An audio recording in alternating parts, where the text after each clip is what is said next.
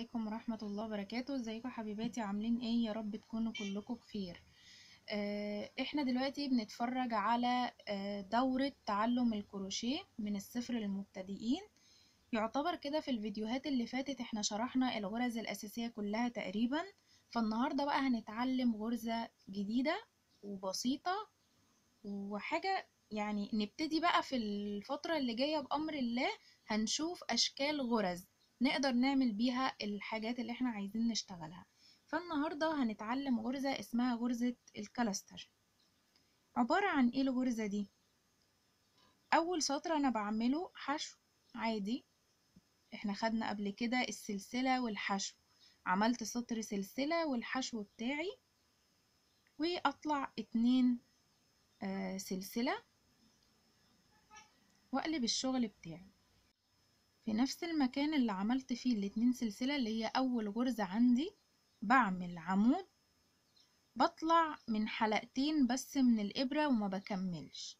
وبعدين باخد الخيط على الإبرة وادخل في نفس المكان أعمل كمان عمود لكن برضو بطلع من حلقتين بس من على الإبرة. بيبقى معايا تلات حلقات بطلع منهم وأقفل بغرزة. نشوف نعمل اللي بعدها بسيب غرزتين من تحت وباجي في التالتة بدخل فيها. بطلع كده بيبقى معايا تلات حلقات على الإبرة. باخد الخيط وبطلع من اتنين بس اللي هو كده أنا عملت نص عمود. دي كده اسمها عملت نص العمود بس ما كملتوش. وبعدين باخد خيط وأدخل في نفس الغرزة تاني واطلع. واخد خيط وأطلع من حلقتين بس بقى كده معايا عمودين على الإبرة. ما طلعوش.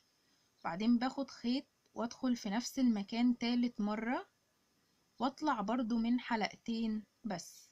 بقى معايا تلات عواميد على الإبرة وأربع حلقات من فوق. آخد الخيط واطلع منهم كلهم واقفل عليهم بغرزة منزلقة. دي اسمها غرزة cluster. تبقى شكلها شيك جدا في. في الشغل يعني. أنا عاملة بيها ice cap على القناة. تاني بسيب اتنين من تحت وباجي في التالتة بدخل كأني هعمل عمود عادي بطلع من حلقتين اللي هو النص الأولاني من العمود وما بكملش. آخد خيط وادخل تاني جوه العين أطلع من حلقتين بس. آخد خيط وادخل تالت مرة واطلع من حلقتين بس.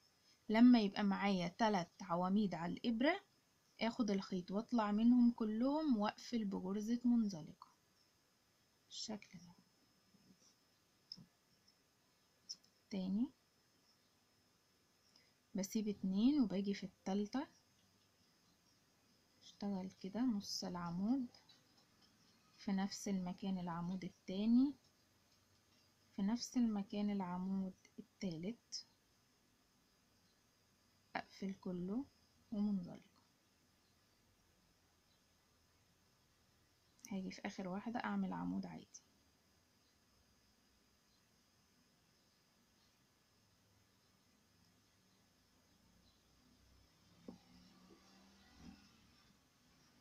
الدور اللي بعده هنعملها إزاي؟ بطلع باتنين سلسلة. باجي في الفراغ اللي هو بين الغرزة والعمود اللي أنا عملته لوحده. بدخل وبعمل نفس الطريقة نص العمود. اخد خيط واعمل كمان واحد جنبه. بعتبر إن أول اتنين سلسلة دول عمود وبعدين كده بقى معايا اتنين جنبه يبقى تلاتة. أقفل واعمل غرزة منزلقة. آجي بعديها بشتغل في الفراغ اللي بعده على طول اللي بين الغرزتين الكبار دول. بعمل برضو تلات عواميد ما بطلعش منهم. بنفس الطريقة بتاعت الدور الأولاني. لكن المرة دي بشتغل في الفراغات اللي بين الغرز. كده بقى معايا تلاتة بقفل وأعمل منزلقة واجي على اللي بعدها. هشتغلها بنفس الطريقة.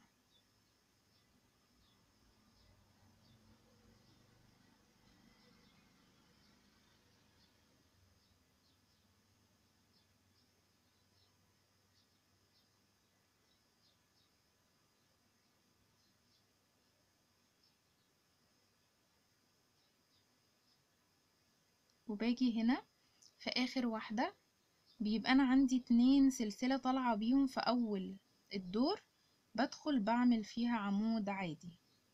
واحد بس. بالشكل ده.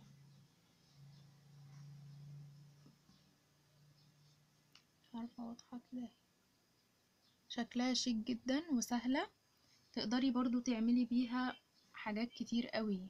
تبقى بجد سهلة وبسيطة وشكلها حلو قوي. بتخلص بسرعة بالمناسبة يعني. يعني بتكون سريعة في كده غرز وانتي بتشتغلي بيها بتنجز معاكي الشغل وبتبقى سريعة. وفي غرز بتاخد معاكي وقت طويل قوي فدي من الغرز السهلة اللي بتنجز معاكي وبتكون شكلها شيك جدا في الشغل. يا رب يكون الدرس سهل ومفيد ليكوا اشوفكوا في فيديو جديد إن شاء الله. دمتم في أمان الله والسلام عليكم ورحمة الله وبركاته.